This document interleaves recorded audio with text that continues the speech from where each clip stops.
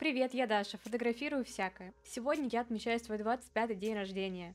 И мне бы очень хотелось подвести некоторые итоги и поделиться с вами настроением, а также поставить вектор на будущее.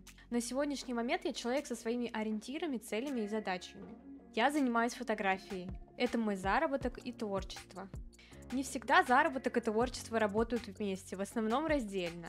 Но я рада, что мое дело приносит мне ощущение своей реализации. У меня есть семья, отношения. За 25 лет я поняла, насколько это важные аспекты жизни. И я рада, что сейчас моя жизнь достаточно гармоничная. В ней есть семья, отношения, хобби и работа. Важно выдерживать баланс и поддерживать каждый из этих аспектов жизни.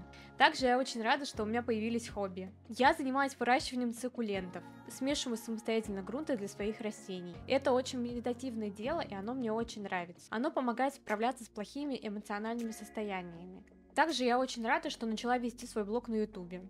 Я, честно, давно этого хотела, но просто постоянно откладывала. Вообще, я изначально столкнулась с проблемой, что заказов у меня стало меньше. И так ловко, казалось бы, небольшую неудачу я обернула в свою пользу, выделив время для создания первого разговорного ролика.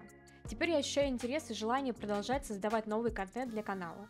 Кстати, если вам нравится это видео, то поставьте лайк, пожалуйста, это очень поддержит мой канал. А теперь вернемся обратно к теме. Хочу сказать, что я сама монтирую свои ролики. Мне очень нравится монтаж. Я многое делаю без гайдов, самостоятельно изучаю интерфейс программы и пробую разные функции. Я как-то давно занималась немного монтажом, и эти знания помогают мне очень сейчас.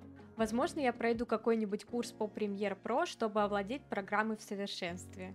И еще я очень хочу рассказать о том, что начала разработку своего творческого проекта «Оттенки тревоги». Я хочу снять серию тематических фотографий о том, как я прошла через сложное психоэмоциональное состояние. У меня была сильная постоянная тревога на протяжении более двух месяцев, после чего новые лекарства начали наконец-то мне помогать. Это было очень сложное время. Казалось бы, неужели сложно потерпеть какую-то тревогу? Но нет, это оказалось очень сложным испытанием. Я то не могла сидеть на месте, то не могла встать с кровати, утопая в негативных мыслях. И в своем проекте я хочу рассказать об этом состоянии через мои фотографии. Показать то, как моя тревога начиналась, ее кульминацию и долгожданное утихание. Я хочу создать атмосферу и добавить помимо фотографий с моделью тематические кадры. Например, добавить немного стрита, предметки. Я думаю, что проект должен быть многогранным, поэтому важно раскрыть тему с разных сторон. Думаю, что буду снимать как на камеру, так и на свой iPhone. Возможно, я сниму отдельное видео об этом проекте, буду делиться новостями и итогами. А сейчас хочу немного помечтать и пожелать себе не сворачивать с намеченного пути, а также приумножать то, что уже имею. Я надеюсь, что у меня все получится, я буду верить в это.